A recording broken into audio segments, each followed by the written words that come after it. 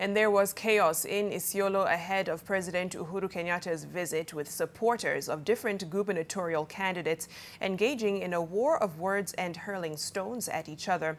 Rival groups support Governor Godana Doyo and Senator Muhammed Kuti and the Jubilee Party gubernatorial aspirant Abdul Bahari engaged in confrontations. The president is in the county today for a series of rallies and meetings with local leaders.